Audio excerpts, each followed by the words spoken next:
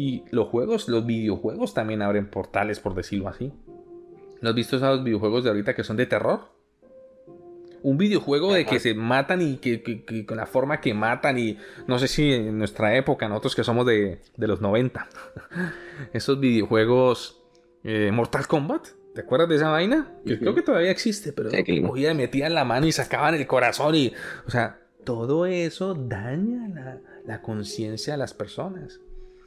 Es por eso que para, para, muchas personas es tan fácil matar porque ya tienen dañada su conciencia. Yo veía una noticia este mes, una noticia aquí en Estados Unidos, no me acuerdo el, estado, donde un muchacho, o sea, una mamá haciendo aseo en su casa, encontró una bolsa de basura debajo de la cama de su hijo. Su hijo tendría 16 años. Y cogió y la, la abrió. Y cuando la abrió, encontró partes humanas descuartizadas. Claro, esta mamá asustada llamó a la policía. Llegó la policía, sacaron el cuerpo, una cabeza, o sea, y cogió y, dijeron, ah, este es un vagabundo, un homeless, un habitante de la calle, que desapareció y casualmente está descuartizado debajo de la cama del niño. Bueno, el niño no, del muchacho, 16 años ya es un hombre. Y entonces le preguntan al, al muchacho, oye, ¿tú sabes algo del vagabundo este? Y el muchacho dice, sí, está debajo de mi cama. Entonces le preguntan, ¿cómo así? ¿Qué pasó? Dijo, no, un día simplemente quise saber qué se sentía matar a alguien. Y fue y mató al vagabundo. O sea, ¿hasta dónde hemos llegado que una persona es capaz de hacer esto? Que un muchacho, o sea, es donde dice la Biblia, en los postreros tiempos el amor de muchos se enfriará. Y las películas, las series, los videojuegos, todo se ha encargado de que el amor, de que las personas ya no sientan amor hacia los demás. De que viejas locas y viejos locos griten que muerte al macho y mátenlos, que la vieja no sé qué. Están corridos, hermano. Están corridos. No tienen amor. Eso es donde digo, hay que cuidar mucho a los niños, mucho a nuestros hijos. Y hay que enseñarles mucho. Y también todo eso también tiene que ver por la carencia de... Vivimos en una sociedad que carece de papá. Y... Podríamos decir que ha habido toda una... De unos años para acá ha venido toda una campaña de insensibilización, de... Total, total y absoluto. De conciencia humana. Y es lo que tú dices, es que cada vez los contenidos de muchas películas, de videojuegos, cada vez, por ejemplo los videojuegos, a mí me encantan los videojuegos, pero por lo mismo, siendo objetivo, puedo decir que cada vez se atreven a algo más, más pesado, cada vez se atreven a más, a más, a más, a mostrar algo cada vez es sexual. más fuerte. Y, de las tinieblas ahora. Lo mismo pasa con las series, con las películas. Hoy en día todo su mensaje es un mensaje destructivo, es un mensaje eh, eh, inmoral. Y entonces yo, eso es algo que me pongo a pensar qué clase de de sociedad enferma va a ser el día de mañana si, la, si esas cosas siguen así. Y todo lo que es perverso, todo lo que es malo, ya hoy en día es visto como normal.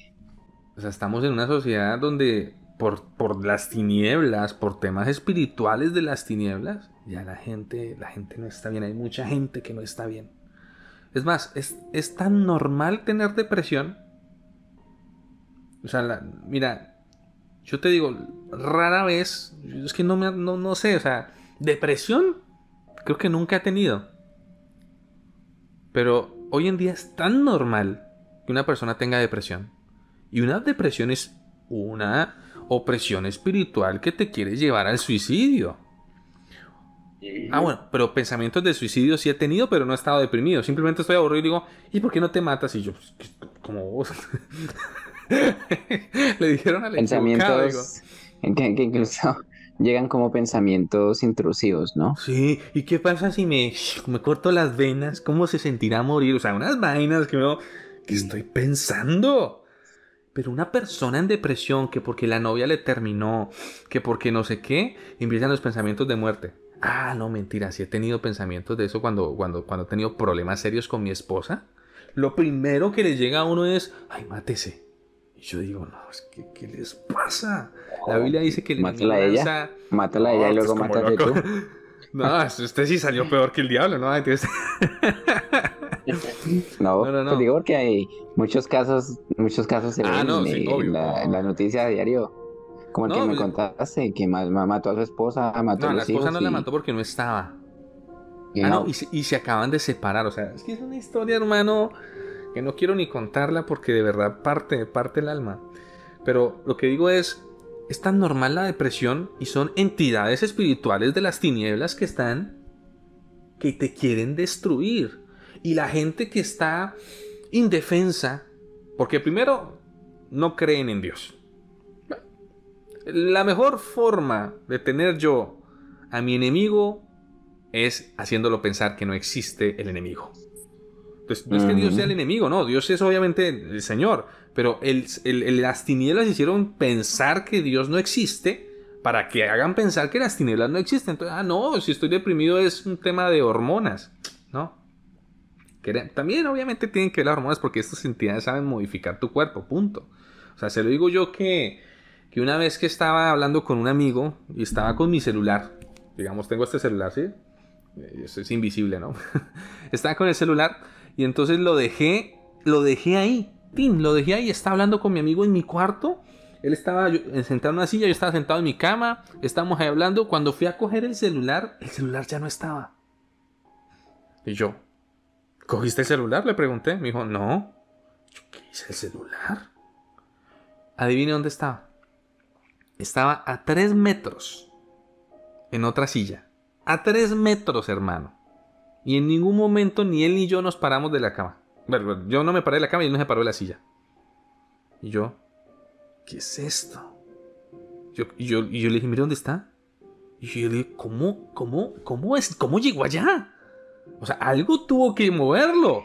Inmediatamente, porque estoy hablando de eso del tema de las hormonas, inmediatamente perdí la vista.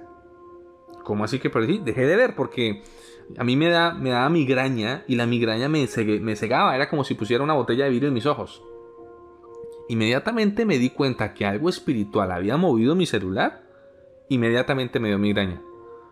Y yo, wow, o sea, ¿a qué voy con esto? Estos, estos, estos entes pueden modificar tu cuerpo. Si hay puertas abiertas, ¿qué puertas tendrían? No sé en ese momento qué puertas tendría un muchacho. Y, y, te afectan tu cuerpo, que te da depresión, te da de todo. Entonces, ¿qué toca hacer? Pues buscar ayuda. Buscar a personas que tengan un nivel espiritual que nos ayude. Me imagino que eso es difícil, sí, para empezar. Tú ni siquiera crees que hay un mundo espiritual y... Exacto. Entonces, pero, es, pero, los que, no creen que hay un mundo espiritual cuando se les aparece, ahí sí empiezan a creer. Y, lo, lo, complicado de todo eso es que muchas, lo que tú decías, muchas, por ejemplo, estamos en una generación en la que en su mayoría muchos jóvenes han decidido no creer en Dios, porque es que ni siquiera es algo de creer o no creer, porque Dios ya de por sí implantó en nuestras conciencias su existencia. Sí. Entonces es un caso ya más de que las personas deciden o rechazarlo o deciden no creer para tratar de quitarle cierto peso a sus conciencias que saben que hay un Dios que existe. Entonces yo me doy cuenta que eh, el, primer paso para cualquier desgracia es sacar a Dios de la ecuación. Decir, no darle entrada en mi vida, pero las, eh, el, asunto interesante de todo esto es que las personas no saben que al rechazar la luz automáticamente están dando cabida en sus vidas a las tinieblas. porque las tinieblas es ausencia de luz. Y no hay un punto medio en toda esta, en toda esta guerra espiritual que la Biblia menciona. Nadie puede decir, no, es que yo soy neutro, yo, porque sabemos que no es así. O sea, no se puede estar medio, medio en tinieblas, medio en la luz. O estás en la luz o estás en las tinieblas, pero no puedes estar en ambos al mismo tiempo. Entonces yo veo que, mucha de, de, toda esta destrucción que está viendo sobre esta generación ha sido tristemente por eso y, y ha sido porque desde pequeños hoy en día los niños con programas de televisión y muchas, muchas series, incluso programas para niños, se va entregando un mensaje implícito en contra de Dios. Yo no recuerdo, pero fue hace tiempos Y fue hace tiempos y por casualidad que escuché una frase que dijeron en un, en un programa de, de, niños, una de caricaturas, y la, la frase fue muy clara. Eh, decía básicamente como que no hay Dios, no hay creador. Eh, algo así, pero la, la, la, frase era muy clara y la decía uno de los personajes, uno de los personajes de, de la serie se la decía a otro personaje, entonces yo decía, ¿cómo es posible que en una serie tan, en una serie para niños, que se supone que es para niños, entre muchas comillas, se esté dando un mensaje tan, o sea, tan directo hacia, atacando hacia la fe, a la creencia en Dios, y un niño, un niño que crece escuchando ese mensaje constantemente, día tras Les día. queda en su pues. inconsciente. Y no, y no, y no es de sorprenderse que, que cuando llegue a su adolescencia y, y ya tenga la, la, la edad y la conciencia para tomar decisiones, diga, no, decido no creer en Dios. No, Y deciden, es que no, deciden no creer, deciden asesinar a alguien, aunque bueno, no todos los ateos son asesinos, no estoy diciendo eso, obvio no. Pero eh, cuando se ponen a jugar con la Ouija y se dan cuenta que sí existe algo más. que es lo que hablábamos.